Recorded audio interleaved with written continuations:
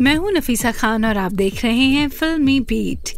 प्रियंका चोपड़ा की नानी कुछ दिनों पहले ही चौरानवे साल की उम्र में इस दुनिया को अलविदा कह गई थी।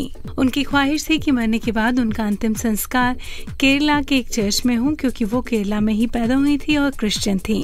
पर यह अंतिम संस्कार करने से केरला के चर्च ने मना कर दिया, क्योंकि उनकी नानी ने एक हिंदू से शादी की थी। इस बात को लेकर प्रियंका चोपड़ा काफ़ी नाराज़ हैं और इसका ज़िक्र उन्होंने पटना में एक प्रमोशन के दौरान भी किया। तो ये थी खबर प्रियंका चोपड़ा की नानी मधु ज्योत्सना की अंतिम इच्छा से जुड़ी हुई। इसी खबर के साथ फिल्मी बीट में बस इतना ही।